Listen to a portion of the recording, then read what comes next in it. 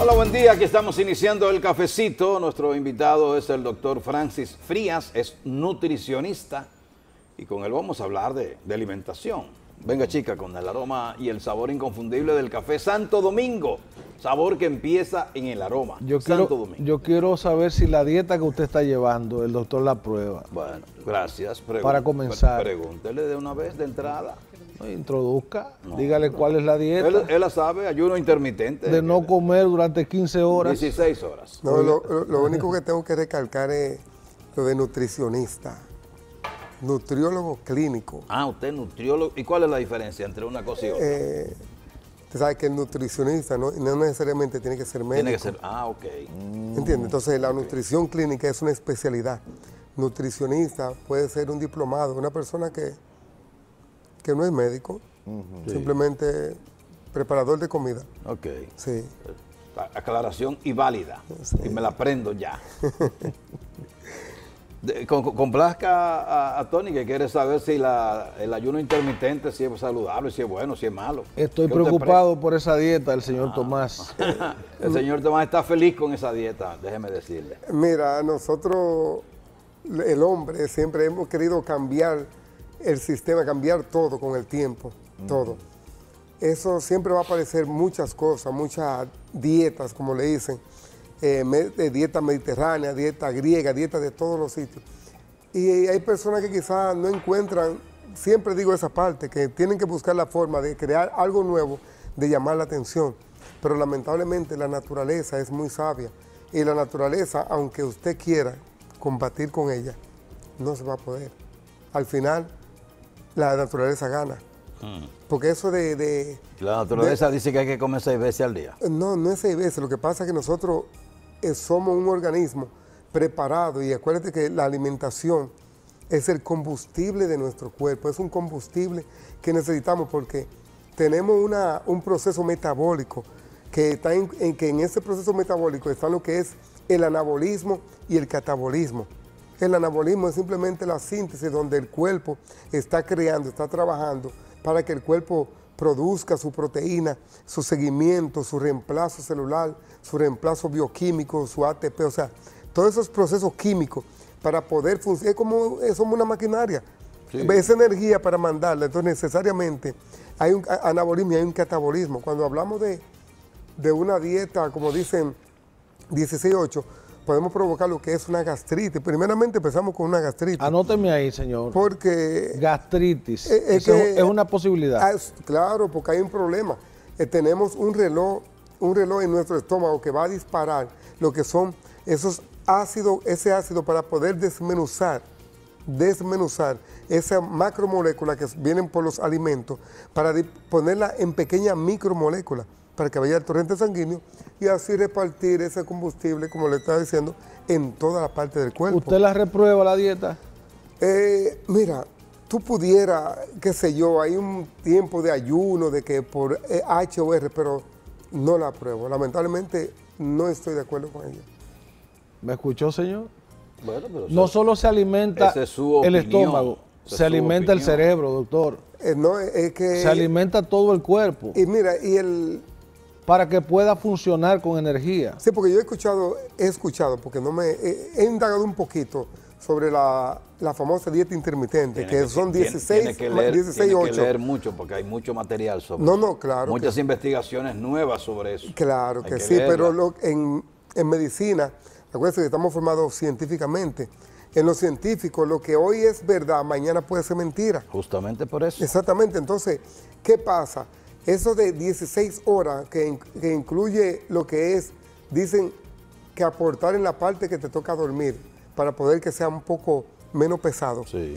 Hay un ayuno, hay un, hay un problema de que, de que el cuerpo entre en catabolismo. Y cuando hablamos de catabolismo, es desintegrar unas macromoléculas que tú tienes dentro del cuerpo ya hecha, programada, para desmenuzarla, a desmenuzarla a moléculas simples. ¿Usted recomienda que una persona se acueste a dormir con, con el estómago lleno? No, nunca. Al contrario, hay que esperar que su, que su digestión pase por lo menos una hora y media después de haber cenado. O sea, porque Y- todo... entonces, pero voy a poner mi caso.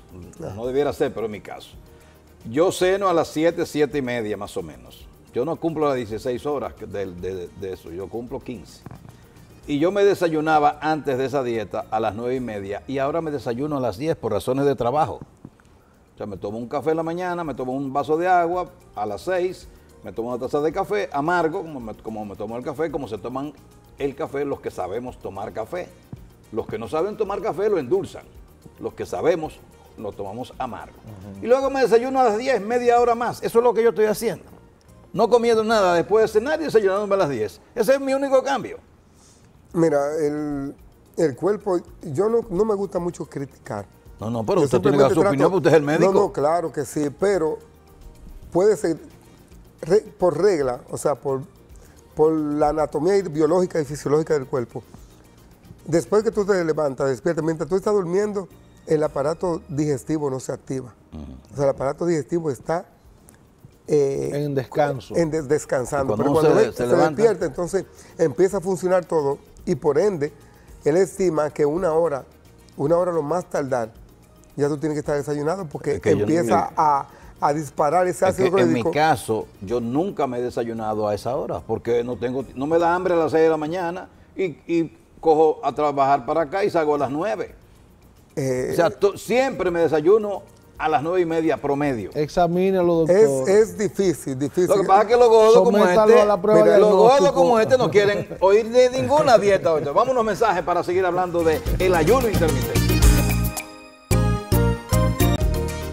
Seguimos esta conversación sobre alimentación, sobre rebajar, sobre aumentar, sobre tipo de dietas que hay muchísimas y eh, se ponen de moda, se quitan, se van, vienen, vuelven.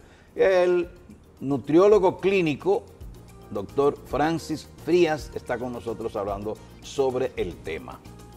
Eh, usted que Do- do- está doctor, gordito, eh, pregunte. eh, estoy preocupado por el calor y la sensación de querer agua, más agua.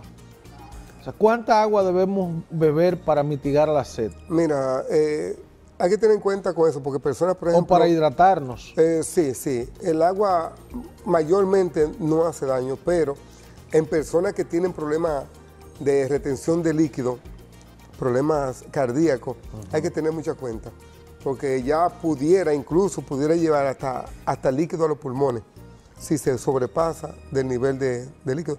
Esporádicamente, no es una cosa tan común, pero hay que tomarlo en cuenta también, hay que tomarlo en cuenta eso. Pero se calcula, por lo menos dependiendo del índice de masa corporal de cada persona, de los, requerimientos de su alimentación, de las kilocalorías, se calcula un mililitro de agua por kilocaloría. O sea, si usted necesita 2.000 kilocalorías para usted eh, mantenerse saludable o en su ingesta normal, usted necesita entonces 2 litros de agua. Eso aparte de, de si hace cualquier ejercicio, entonces usted le añ- añade un poquito más. Pero mayormente esos son los cálculos que uno trabaja con cálculos. Lamentablemente, nosotros los nutriólogos clínicos, todo es por cálculo. O sea, buscamos la forma para, pero siempre uno, hay una medida que oscila entre unas cuantas más o unas cuantas menos. Y con la comida debemos tomar agua en el momento, después, ¿cuánto tiempo después? Eh, mira, se recomienda que por lo menos 45 minutos antes no se tome el líquido, no se tome el agua. Y luego 45 minutos después. ¿Por qué? Porque el, el agua, aunque la, la gente lo vean así, la hidrólisis que es provocada por el agua es algo muy fuerte. O sea, las personas piensan que el, agua, el agua es inocua para ciertas cosas, pero si tú duras cualquier objeto, lo que tú tengas, lo sumerge en agua, tú vas a ver lo que, la oxidación que va a sufrir ese objeto. O sea, es bien fuerte. Entonces, ¿qué pasa? La hidrólisis o el agua te va a aguantar o a bajar lo que es la digestión. Te la va a poner un poquito más lenta. Una, una persona se supone que debe comer eh, eh, alrededor del equivalente a 2.000 calorías al día, ¿verdad? Eh, bueno, si dependiendo de su índice de masa corporal. El, Si amigui- el persona- amiguito, Eh, por bueno, ejemplo, ¿cuánto debe? Debería 3.000, 3.000, 3.500 mililitros de agua, que serán 3 litros y No, yo me refiero- Mayormente porque estoy viendo su, Su volumen, su volumen, sí. que está, considero como obesidad tipo 1, tipo 2. Eso es una parte. Es una, una percepción eso es que pudiera dar. A la vista, sí, con A la vista, sí. tú sin, sin ropa sea esbelta. O sea, eso fue para contestar más menos la pregunta, Sí, pero no me gusta nunca pero- pero, esa eh, percepción. eh, usted habla de, de- de- de agua, pongámoslo, pongámoslo claro, en botellitas, por ejemplo, o en vasos.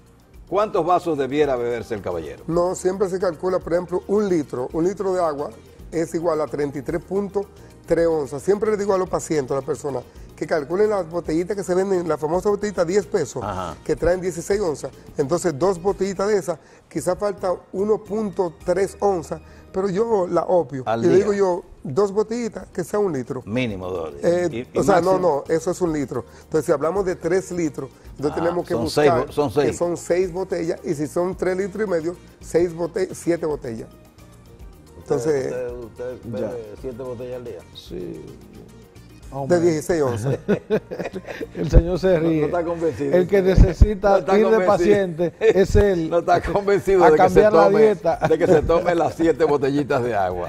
Pero, pero es malo tomar de más, pero también es malo tomar de menos. El cuerpo, el cuerpo, siempre lo he dicho, no tolera ni deficiencia ni exceso. O sea, el cuerpo es un equilibrio. Siempre he hablado de que el cuerpo hay que mantenerlo un equilibrio siempre.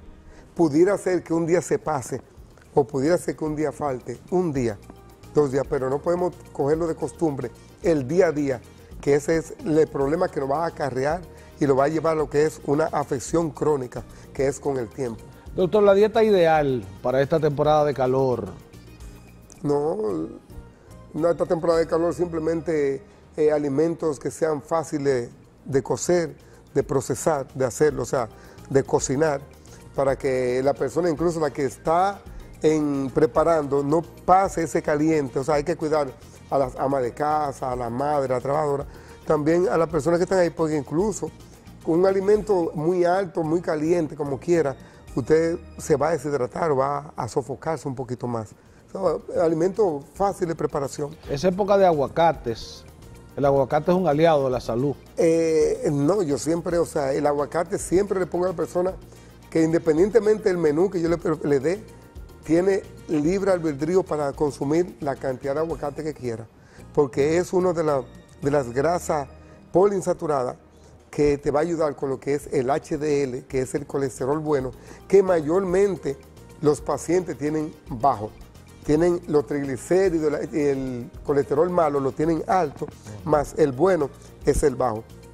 Entonces, eso aumenta el HDL bastante. Muy Hay que excelente. comer aguacate. Aguacate y el, aceite de oliva. Bien, vamos a unos mensajes para la continuación del cafecito de hoy. Terminar, usted no recomienda ningún tipo de dieta. No, Una no. alimentación balanceada. una alimentación balanceada, saber por los requerimientos. Siempre hay que saber por los requerimientos e individualizar a cada persona. Porque pudiera ser que la dieta, la dieta que usted dice, la intermitente en ayuno, le cayera bien a cierto paciente. Sí, pudiera ser, pero no todo el mundo. O sea, es algo generalizado. Bueno, vamos a hacer esto, vámonos por ahí. No. Entonces Jaime Tomás no es lo mismo que, que Areli. O sea, no, somos diferentes. Entonces Claro. hay que personalizar. Pudiera ser que esa dieta intermitente, como usted dice, le cayera bien a ciertos tipos de pacientes o a ciertas personas, que no puedo satan- satanizar nada. No, claro. Pero hay que individualizar cada persona. Dígame Eso su consulta. ¿dónde que está? Estamos ubicados aquí en la calle León Jiménez, aquí en Santiago, 161 frente al parque. También estamos en Santo Domingo, en la avenida Máximo Gómez, Plaza Gascue, frente, frente a Utesa. Y estamos en las redes sociales, que es Instagram, arroba dr.francisfría, en Facebook, Nutrición Clínica Especializada, doctor Francis Fría, y en el WhatsApp, el 849-642-9090. Gracias al doctor Francis Frías, que es nutriólogo clínico, no es nutricionista. Nutriólogo clínico, es médico especializado en nutrición. Son dos cosas diferentes, no se olviden eso. Vamos a los mensajes para estar en la parte final del cafecito de hoy.